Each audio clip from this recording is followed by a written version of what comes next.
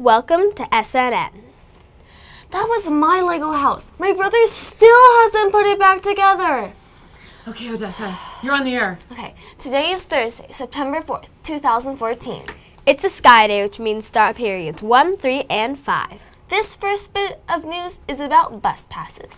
There have been a few changes in the whole bus pass process. That's correct, Rose. Here's the thing the main office can no longer just give you a bus note for the rest of the year to a bus stop, other, other than your assigned one. Got that right. For those of you who might be interested in obtaining an as needed bus note, there is now a form. The forms are available in the main office. They look like this. Wait, that's not it. We can't find ex- an example of the form. Again, stay tuned. When we find it, we'll show you. Bottom line, you have to plan ahead. Oh wait, here it is. This is the form Mrs. Cruz just Mrs. Cruz just gave it to us. You get this in the main office.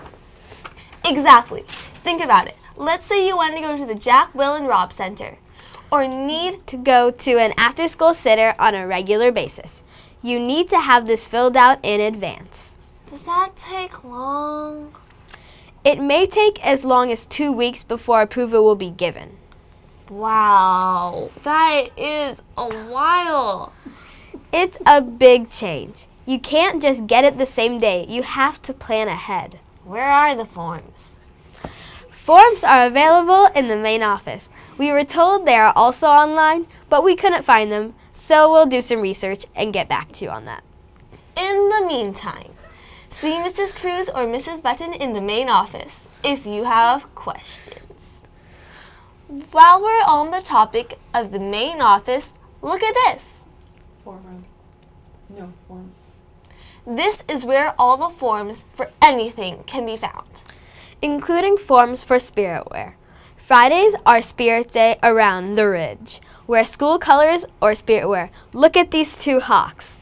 They are wearing our school colors navy blue, burgundy, and white starting Friday tomorrow.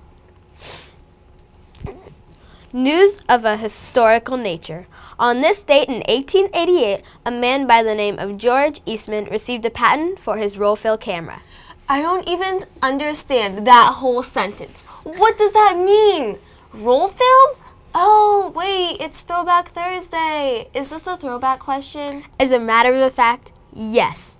Call 78293 and tell us the name of this man's invention. How could we even know the answer to this question?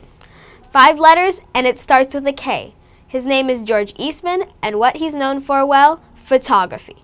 That reminds me, and we should remind you out there that picture day is Tuesday. Teachers, we've been told that the picture packets are in your mailboxes. There are posters in the halls, but if but it would be even better if you jot it down in your planner. Ah, the planner. We, We have ours, but do you have yours? Get your planner today in the main office. It's only $6 and there's this awesome calendar on the back with the whole school year. News from the LMC. Lots and lots of books are coming back, but starting tomorrow, items not returned will show up as charges. Good news. The charges vanish when you return your books. Miss Pappas is begging. She doesn't want to hunt you down, so return those summer checkouts.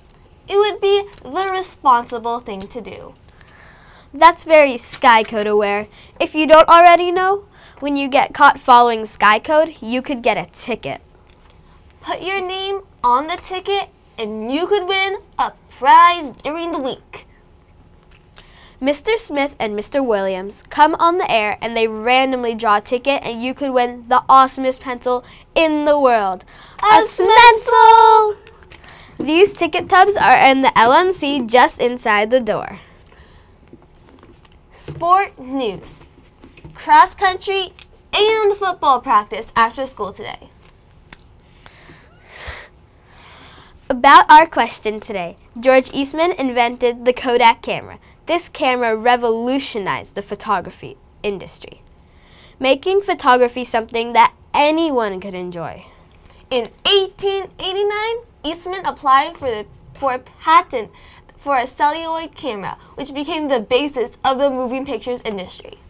We're obviously accustomed to having a camera in our phones, but there was a time when that whole idea would have been insane. He was also a pretty generous guy, leaving more than 75 million after his death to various charities and organizations. Cha-ching.